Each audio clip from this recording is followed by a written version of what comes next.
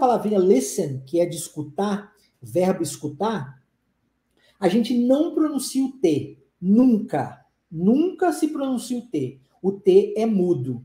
E eu sei que em português, quando a, a palavra possui alguma letra muda, essa letra é pronunciada, né? Vou falar da minha área agora, psicologia.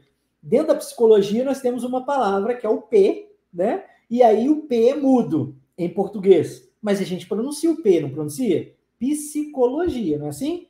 Em inglês, existe a palavra psicologia e existe o P lá, mas o P é mudo, de verdade. A gente não pronuncia ele. Quando é mudo, é mudo mesmo. Então a gente fala psychology, psychology, não fala o P, nunca. Aqui é o mesmo esquema. Listen. Você vai do S para o E direto. O T nunca vai ser pronunciado nessa palavra, tá? Listen. Listen, I got news.